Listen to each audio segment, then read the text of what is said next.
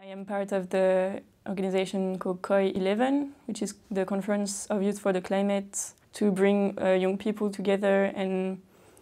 get things done about climate change and also raise awareness. We are volunteers, so we don't have um,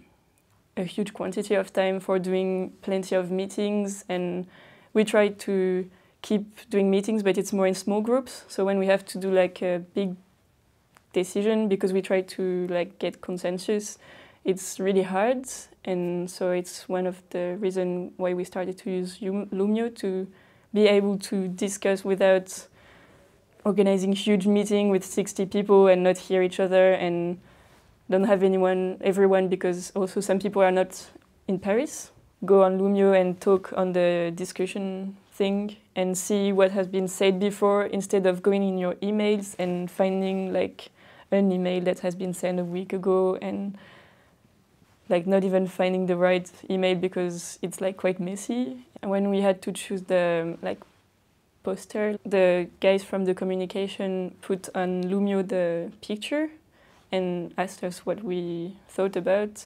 Have a good communication, like a respectful communication, and also express what you feel really about this. At the beginning, people were really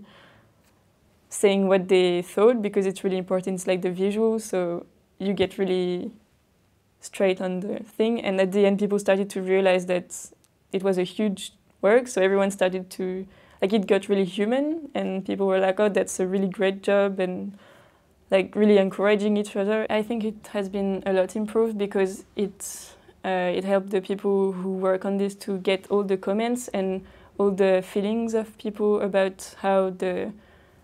visual should be and what the visual they had done was uh, communicating. So now they started to work on a new one that is really that is great.